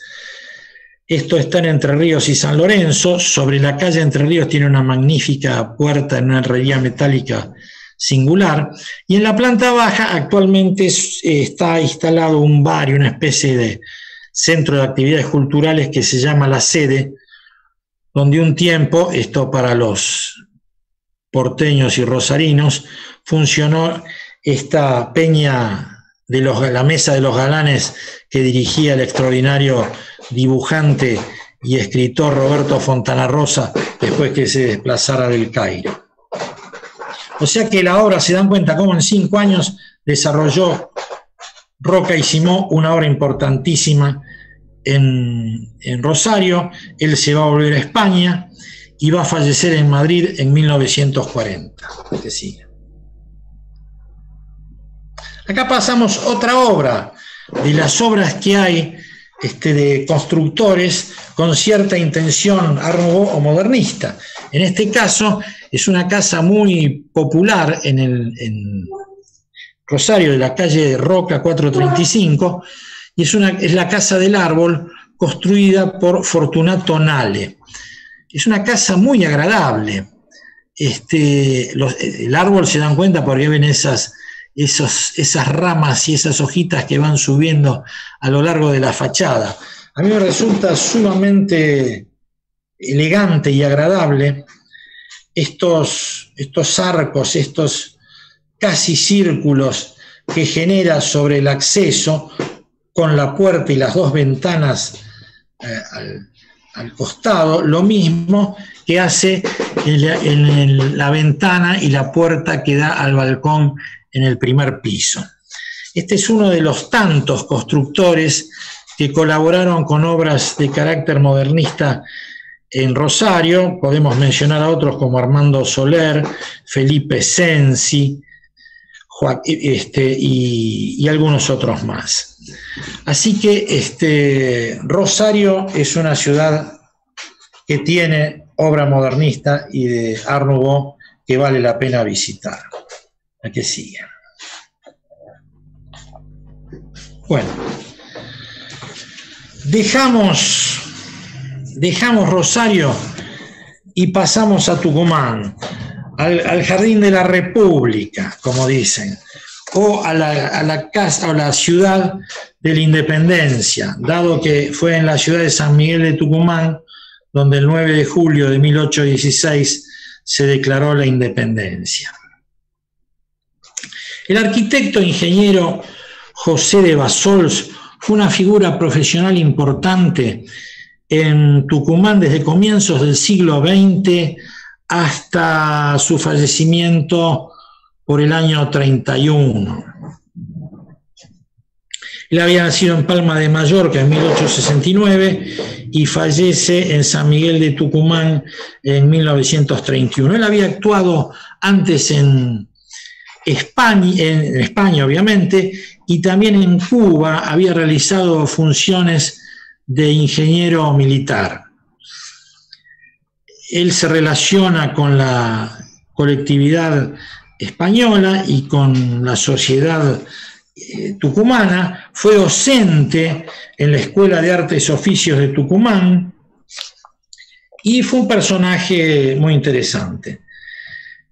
En, sus primeras obras, como vemos este dibujo aquí, Basols utilizó un lenguaje arquitectónico eh, netamente modernista, donde tenía, este, hacía superficies planas de perímetros, pasar que siga, de perímetros eh, regulares, circulares o rectangulares, donde incluía ornamentación floral, ¿eh? y esos remates que hacía donde terminaba de manera con curvas o con situaciones, con rupturas en sus remates, que generaban cierto movimiento este, que nos emparentaba con la arquitectura eh, modernista. Un detalle peculiar, pasar anterior, es la identificación en la autoría de sus obras, que él ponía esa plaquita donde decía José de Basols, ingeniero arquitecto, con una difícil lectura ese apellido de Basols. Costaba un poco de trabajo. Pasemos a la que sigue. Otra más. Otra más. Bueno, y acá vemos esta sucesión de viviendas y comercios que también hace Basols, donde repite las características mostradas en las otras obras.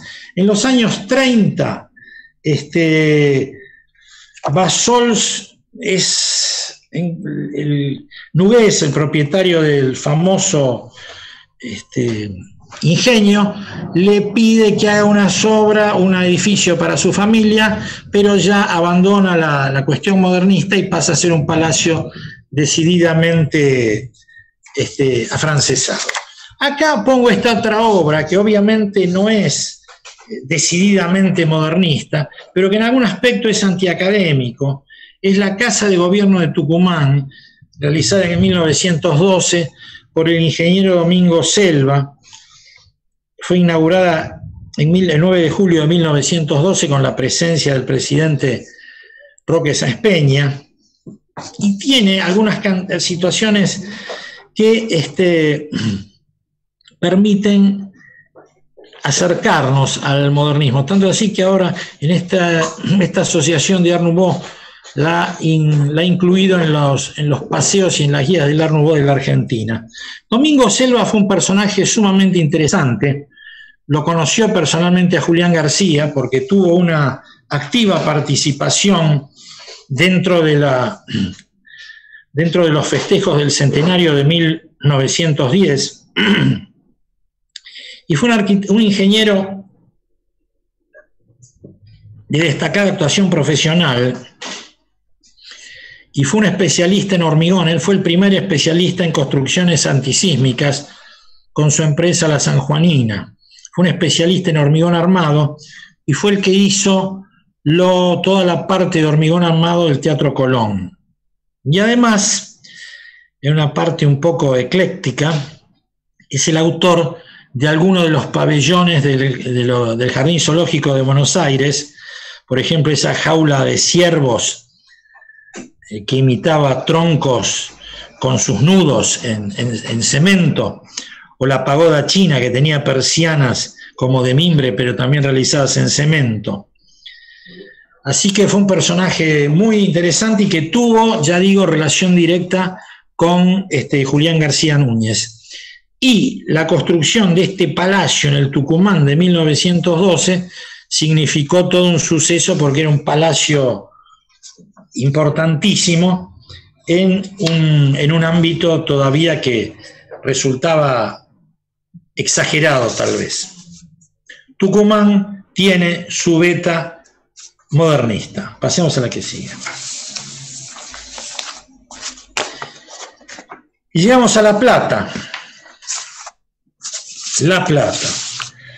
La Plata. La Plata, ciudad a 56 kilómetros al sudeste de, Buenos Aires, fundada el 19 de noviembre de 1882 por Dardo Rocha, quien fuera gobernador de la provincia, con ese reconocido trazado dentro de ese cuadrado perfecto, con diagonales que se cruzan, que generan plazas colocadas con exactitud cada seis cuadras. Realmente una maravilla de trazado. Es la capital de la provincia de Buenos Aires y es la cabeza del partido homónimo.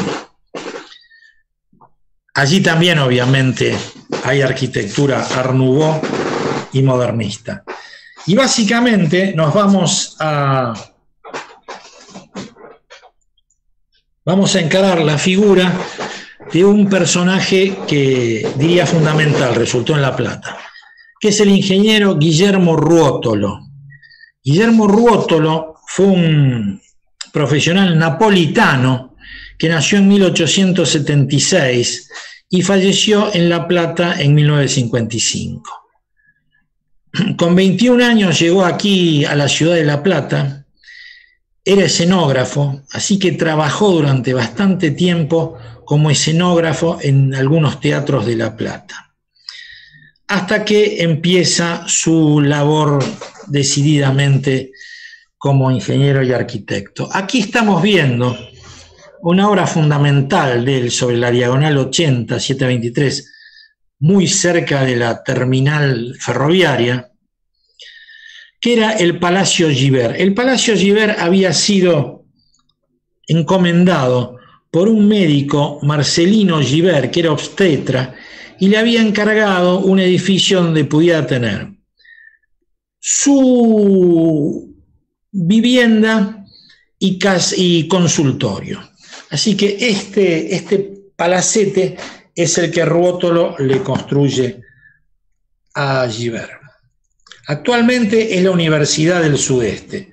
Aquí vemos algunos aspectos. Estamos viendo la puerta de, de acceso con su herrería metálica desde el interior. Este bello balconeo desde el primer piso hacia abajo, como otro detalle de una, puerta, interna, con ese tratamiento del hierro tan agradable, y con la utilización de vidrios de dos colores. La otra.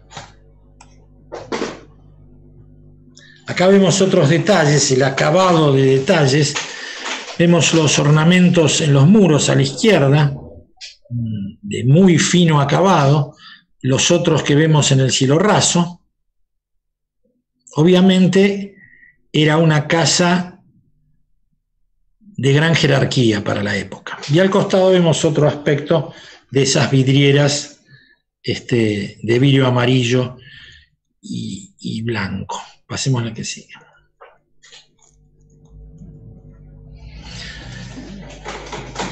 El balcón el balcón que da hacia el jardín posterior de la casa este, mantiene todas las características tan particulares y que nos hacen decir que esta obra es una obra de características modernistas, lo mismo que esta ventanita, especie de óculo, que es una de las que veíamos al principio, eh, que están sobre, eh, dando a la, a la mansarda del edificio, de una carpintería de madera de gran calidad, obviamente. Sigue. Bueno, Rótolo, aquí vemos un plano de presentación, plano de obra en definitiva, que se refiere a la Casa Bo, o también llamada Palacio de las Flores, por toda la ornamentación vegetal y floral que tenía sobre su fachada, es del año 1913 y este, aparte viene al caso para mostrar lo que eran los planos municipales en esas épocas, ¿no? la calidad que tenían, que hoy a veces se extraña un poco, sin ninguna duda, la que siga. Bueno, aquí vemos la fachada sudeste que estamos viendo es esta que estoy señalando yo aquí, esto es en la actualidad. La cúpula que había sido diseñada no fue realizada, sino que en su lugar llegó esta. Y acá estamos viendo este lateral, que sería el detalle de este otro, con lo que queda la cúpula.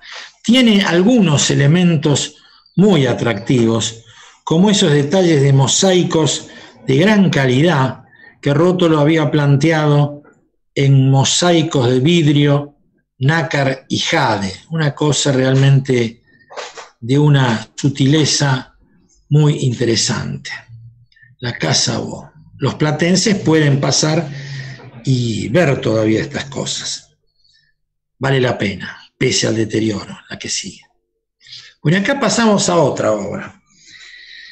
Esto esto es el Instituto San Nicolás, o era el Instituto San Nicolás hasta hace poco, en la calle 43 518, de alrededor de 1915. Y estamos ante una casa nuevamente antiacadémica. Se puede ver perfectamente en su fachada, se puede ver en este lateral que ingresa al jardín con esta torrecita y ese cupulín, la puerta de ingreso metálica con esta marquesina de vidrios y hierro, y el detalle nuevamente de la rosa de la rosa este, simplificada, tan característica y tan cara al movimiento modernista catalán. Acá vemos otros aspectos de este edificio. Vemos esta imagen femenina que surge del medio de dos balcones y que da una belleza y una sutileza a esa parte que es la entrada hacia el jardín, lo mismo que este otro remate de hierro, esos hierros trabajados como solo lo hizo el modernismo y el Art sin ninguna duda.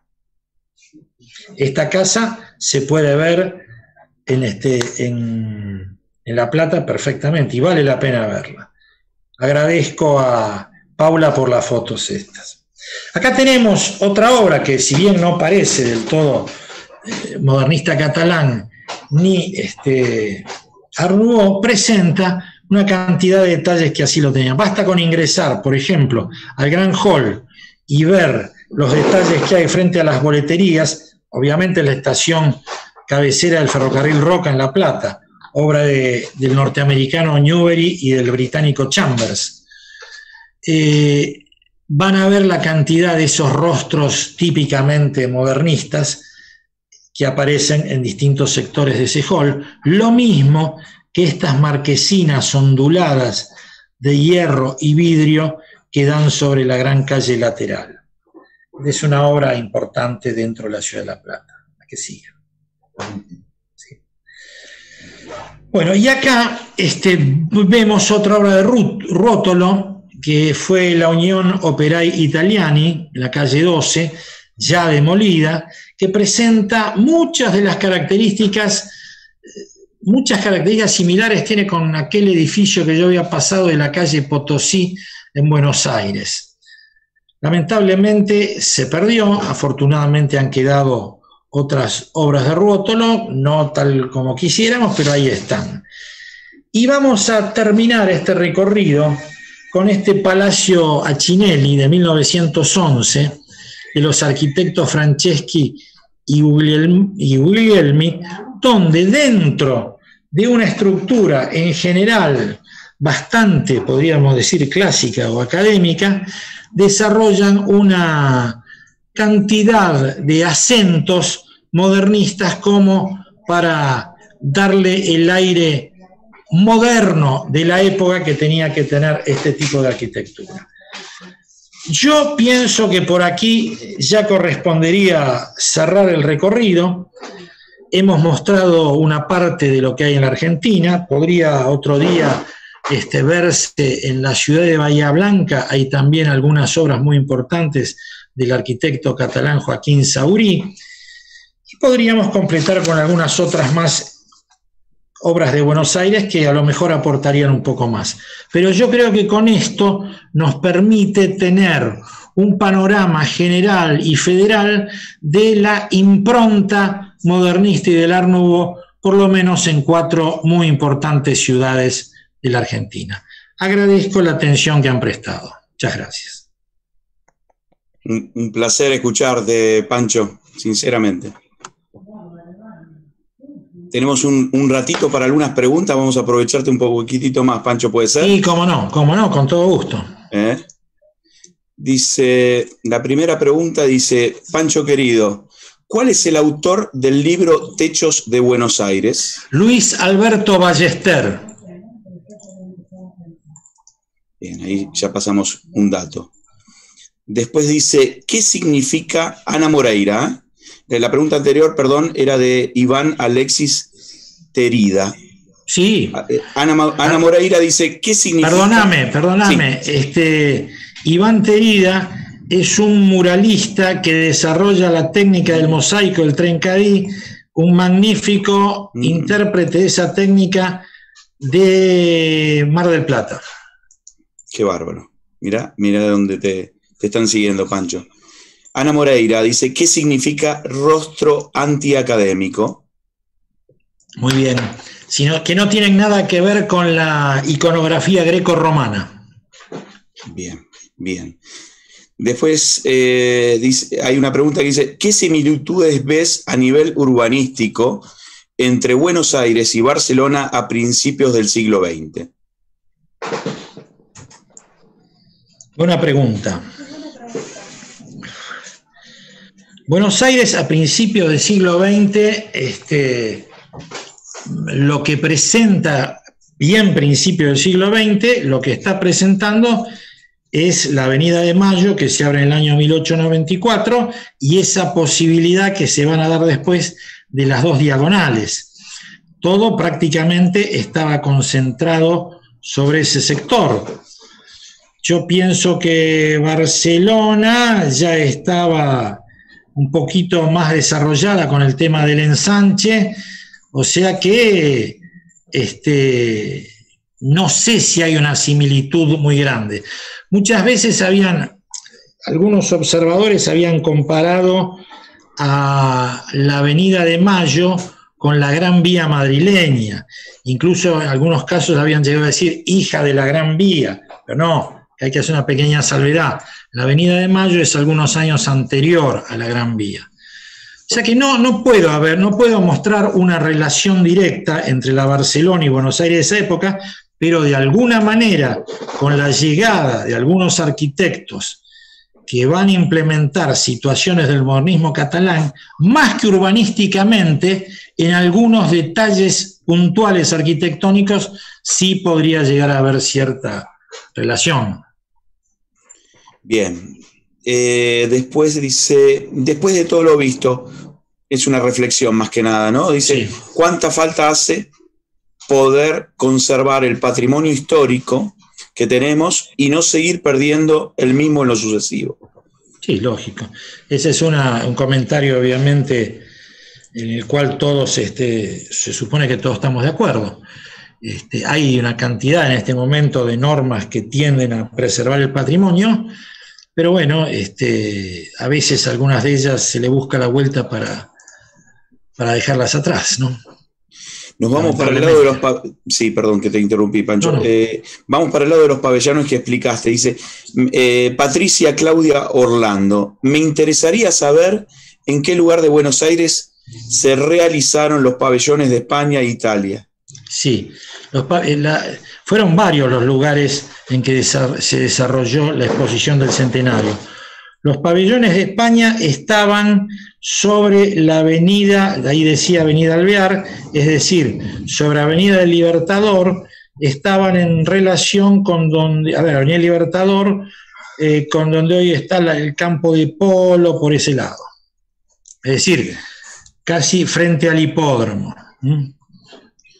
Muy bien. Y Ricardo, Ricardo Antonio dice, los azulejos modernistas que se colocaban en los aguanes se fabricaban en Argentina o eran importados?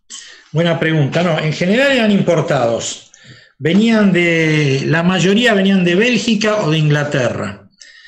Sí hubo una muy buena artesanía aquí en Buenos Aires, porque, por ejemplo, lo que hace al Palacio del Club Español de Bernardo de Irigoyen, toda esa magnífica herrería que tiene en bronce en su fachada, se puede ver perfectamente donde dice fundición, no me acuerdo tanto, Buenos Aires. O sea que había, bueno, y uno de los, evidentemente había una muy buena mano de obra de este, artesanos. Una de las situaciones por las cuales Julián García aparentemente abandona su visión modernista y, construye las últimas obras, que son las que firma Julián García Núñez, en un estilo afrancesado, más comercial si se quiere, es porque él habla de la falta de artesanos que tenía, todos los artesanos que se le habían muerto. Ya que hablamos de Julián García y hablamos de Moliné antes, Juan Moliné, que fue uno de los que lo acompañaba como eh, constructor en las obras que estaban hechas para la Sociedad Española de Beneficencia, el hermano de Juan Moliné, Antonio Moliné, fue el encargado de dirigir las obras de emplazamiento del monumento de Argentina y sus cuatro regiones, conocido como el monumento de los españoles. y que se supone, no se supone, es el, movimiento, el monumento modernista más grande del mundo. Y dicho sea de paso, quien fue, quien diseñó el la, las fundaciones para ese monumento fue Julián García. Mira todo cómo se junta. Qué bárbaro. Eh, acá dice Daniela Namad, dice, ¿los edificios que nombraste en el zoológico siguen estando o también fueron demolidos? No, siguen estando. Siguen estando, pese a la modificación que ha sufrido el zoológico, que ya no es más zoológico, sino es un parque especial, este, no, pero esas construcciones siguen estando.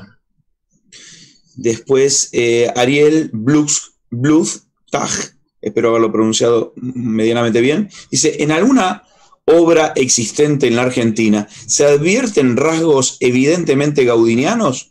¿O cuál es el arquitecto cuya influencia gaudiniana es más notoria? Y eh, vamos a decir, influencia gaudiniana es difícil. Influencia modernista sí, hemos visto que en varios. Este, Julián García, nuestro máximo, es un derivado de Domenech y Montaner, de alguna manera. Este, no podemos decir que la obra que hemos visto de Ayacucho y, Rivadavia, podamos decir modernista, porque se le ha colocado una réplica de la, puerta del dragón de la finca Buell. Pero yo creo que el resultado es más de influencia de los arquitectos, del modernismo en general. Yo creo que con Gaudí se llega a una instancia que ya no se puede seguir. Claramente. Él remata ahí una cosa. Horacio Agustín Walter dice, el pasaje Rodrigo de la Plata con su doble entrada, sus pasillos y sus lucernarias de vitro, ¿no es una de las obras modernistas más importantes?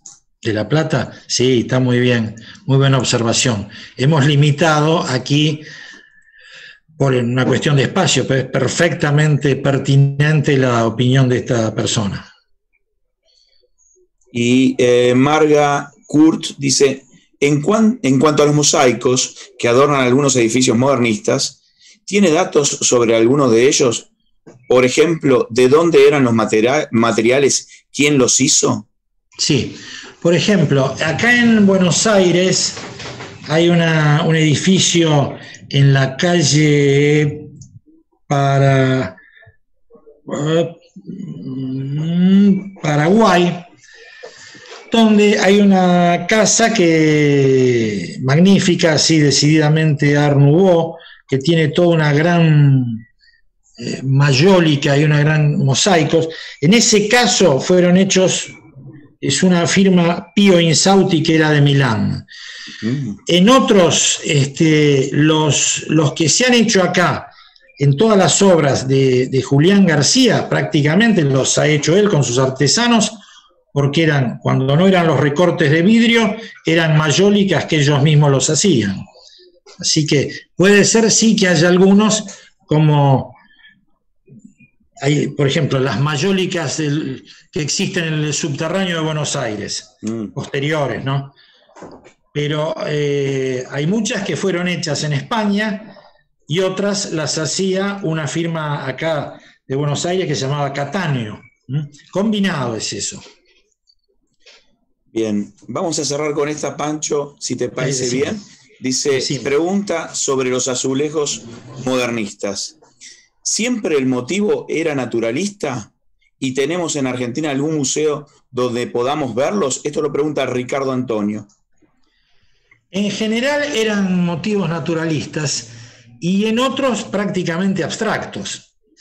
Sí, tenés lugar donde podés ver. Eh, volviendo al Museo de la Ciudad, que, está, que queda ahí en la calle Bolívar y Alcina, Defensa y Alcina, perdón, Defensa y Alcina, este, hay una colección magnífica. Y no solo de, azulejos, sino también de parte de herrería Art modernista maravillosa. Y dicho sea de paso, antes de que me olvide, no sé si se ve, pero muestro esto yo.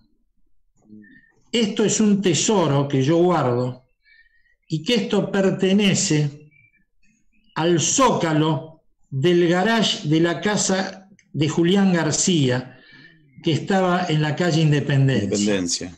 Cuando en los años 72, 73 la demuelen, yo era un estudiante de arquitectura, que varias veces fui ahí a ver y no voy a decir que lloraba, pero alguna lágrima me corría.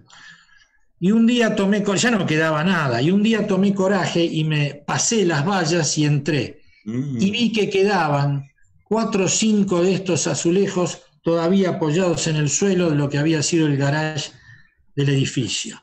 Y lo mantenés impecable, claramente. Y llamé a un, este, llamé a un de los bañiles que había ahí, le pedí por favor, este, no, esto no puede ser, qué sé yo, no hay caso, no hay caso. Simulé irme y cuando se retiró el albañil yo pasé y me lo retiré. Le dejé tres, quedaban cuatro. Acá lo tengo. Acá lo tengo. Vaya a saber si Julián García no lo pisó, no lo pateó alguna vez a esto. Mira, tiene que ver con lo que estás hablando. Dice eh, eh, Estela Maris dice: en el Museo de la Ciudad, ¿hay muestras de azulejos? Sí, hay muestras de azulejos. El Museo de la Ciudad, de tanto, el Museo de la Ciudad tiene una colección permanente y de tanto en tanto va cambiando las exposiciones que hace. Exposiciones de azulejos ha hecho infinidad de exposiciones. Pero si le interesa, yo estoy seguro que yendo al museo, presentándose y diciendo que tiene la necesidad o el deseo de ver, se los van a mostrar, sin ninguna duda. Perfecto. Bueno, nos vamos despidiendo. Eh, la verdad, en, lo personal me agarra un poquito de nostalgia porque han, han pasado tres meses desde que comenzamos. Este es nuestro último módulo y como dije al principio, espero que, que, los espectadores hayan disfrutado tanto como lo disfrutamos nosotros, eh, donde fuimos conformando un equipo de trabajo magnífico. Desde lo personal estoy este, ampliamente este, contento por eso, pero bueno, es el, es el último módulo este, y, la verdad es, fue un placer reunir a un equipo de trabajo como el que se reunió con Luis desde, desde Barcelona, teniéndote a eh, teniendo a Fernando Martínez Nespral, a vos Pancho, Paula, Jan, eh, Santi desde, Guayaquil, este, y obviamente todos nosotros, este, hoy Esther no puede estar por un problema personal, Esther Barnett, pero la verdad le doy las gracias a todos por, acompañar este proyecto que comenzó allá en, septiembre eh, en la cabeza de Esther Barnett y que me lo propuso y no dudé de, tenerlos conmigo y estoy muy feliz. La verdad, en lo personal estoy muy feliz. ¿eh? Eh, no sé si alguien quiere decir algo porque es el momento. No, está bien. Yo también estoy orgulloso de haber participado y he disfrutado de cada una de las ponencias. Yo también muy contento de estar con vosotros, a pesar del cambio de horario que tenemos entre allá y aquí, pero Aquí ya casi es de noche y ustedes están disfrutando del mediodía, pero bueno, que, vaya muy bien la próxima etapa para todos. Sí, desde, acá de Guayaquil, realmente muy, muy contentos de haber colaborado. Primero con un equipo, como describió Alejandro, extraordinario, extraordinario, un equipo tanto en el plano de los contenidos, eh, Luis, Horacio, eh, eh, Francisco, y por el otro lado, y Alejandro también, ¿ah? esto de las máscaras no deja a uno vivir. Este, y por el otro lado, el equipo técnico, Paula, Jan, realmente todo funcionando. El apoyo de Esther, maravilloso. estoy muy contento como arquitecto y como metido en multimedia, feliz. Feliz, he disfrutado de esto muchísimo. Gracias por la invitación y como Casal Catalá de Guayaquil estamos siempre a la disposición de cualquier mm. proyecto. Es que es como vos decís, Santi, eh, esto comenzó eh, prácticamente en un momento en el cual en la Argentina particularmente estábamos en una cuarentena este, forzada Eh, y cuando, cuando Esther Barnett me lo propuso, teníamos dos opciones, o de decir, no, sigamos con, con este estado en el cual personalmente este, yo estaba transcurriendo, que eh, de encierro con, directamente con falta de, trabajo en efectivo, porque lo mío es la obra y no había obras. Y, este, como digo, habitualmente digo, es, eh, Esther fue la, la madrina de todo esto que dijo, vamos a hacer un proyecto, vamos a hacer un proyecto cultural este, que también hace, porque tenemos habitualmente la cabeza en todo este tema de, la pandemia, eh, del trabajo en el cual estamos ahora metidos este, todos, este, y sinceramente se lo agradecí profundamente. Y la realidad de poder reunir este equipo, nuevamente lo digo, eh, para mí es un placer. Sinceramente es un placer. Estoy sumamente contento.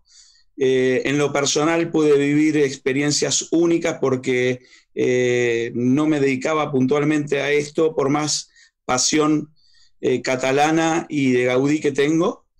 Mi, mi, conferencia de la Sagrada Familia fue la primera, fue mi primera conferencia y cuando lo hablamos con Luis, eh, dije, tomo el desafío, tomo el desafío, vamos para adelante y la verdad que disfruté muchísimo esa, conferencia, de poder transmitir los conocimientos que uno tiene este, con, la gente que, tenemos del otro lado de la pantalla. Eh, este año, un año muy difícil, un año muy difícil para todos, pero a pesar de eso hemos querido hacer este, este seminario eh, ponerle toda la pasión que, le podíamos poner cada uno de nosotros y la frutilla del postre va a estar dirigida principalmente a, lo que es el público eh, profesional de este seminario, porque como comentaba el sábado pasado, eh, el 12 de diciembre a las 13 horas, por gestiones que hemos realizado como, como equipo, la Sagrada Familia y a través de su director de obra, Jordi Faulí, y su, arquitecto adjunto eh, va a dar una conferencia, eh, como decía anteriormente, para, principalmente para profesionales. Eh, se va a hacer una introducción histórica de, este, y de contexto de la Sagrada Familia, pero después principalmente se va a hablar de todo lo que tiene que ver con la construcción de las torres, el sistema constructivo que se está utilizando, que es un sistema constructivo que desarrolló la Sagrada Familia junto con un estudio de ingeniería de Inglaterra. Y creemos que es una experiencia única, es una experiencia única para la Argentina eh, poder contar con la Sagrada Familia a través de esa conferencia. Eh, así que a partir del día lunes, con, con Paula y todo el equipo, comenzaremos con todo lo que tiene que ver con la promoción efectiva a través de, los, de las redes y los medios de comunicación y con las inscripciones. Así que bueno, ya estarán recibiendo este, información al respecto. No sé, Pau, si querés contar algo más.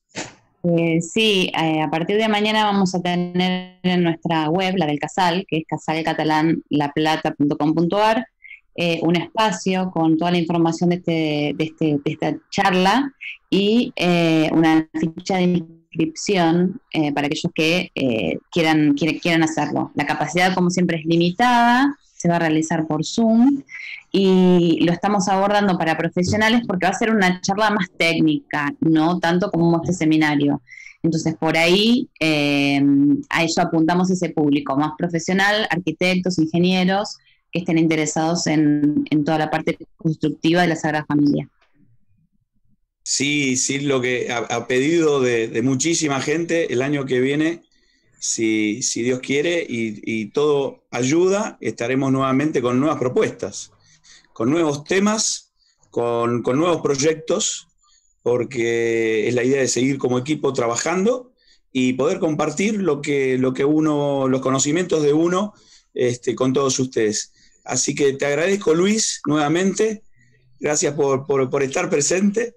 este, Pancho, hoy Fernando no podía estar por otro compromiso esto de, dar conferencias. Bueno, hoy no pude estar, pero le manda un saludo a todos. Este, y gracias, Pancho querido. La verdad, este, disfrutar de la Argentina, de la arquitectura modernista de Argentina en, su totalidad, este, fue maravilloso, sinceramente. Para mí, este, este es un sueño cumplido que nosotros con, con vos y con Luis y con Fernando hace tres años que veníamos armándolo pero bueno, vamos por más, ¿eh? ¿eh? vamos por más el año que viene. ¿eh? Muy bien. Así que este, gracias a todos, gracias eh, Santi, gracias Jan y gracias Pau, obviamente. Gracias a vos, Alejandro. A ti, Alejandro, gracias. Adeu. Adeu. Gracias a todos, ¿eh? Los esperamos a, lo que, a los que sean profesionales el sábado 12, principalmente, y si no, el año que viene. Gracias. Chao. Chao, hasta luego.